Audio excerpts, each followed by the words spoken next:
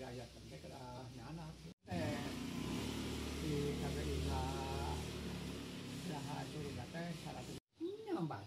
dua berarti Terus yes gitu ya Pak? Dia contoh oh jadi contoh Nah, cocok mantap. kemejanya ayam gitu Itu itu di nuk- tukang kaput kan. itu noh. Nah, cocok. Siapa aja siapa dia lah, latihan.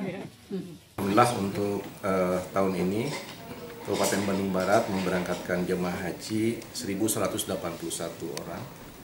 Itu terdiri dari eh, usia yang paling tua itu 94 tahun dan termuda 18 tahun.